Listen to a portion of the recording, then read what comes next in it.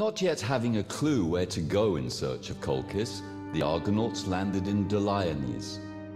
Wandering through Bear Mountain in search of supplies, they run into Earthborn giants. Jason and his crew fought their way back to the Argo.